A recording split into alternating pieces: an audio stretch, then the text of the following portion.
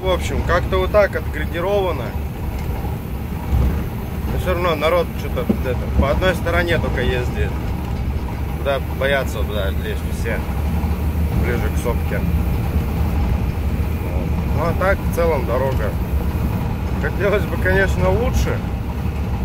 Но дождь пройдет, сейчас обратно все вернется. Пипец, короче, дороги будет.